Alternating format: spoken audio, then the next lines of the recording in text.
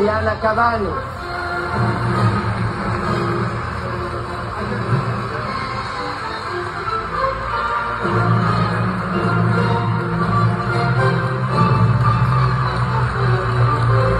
Guarda,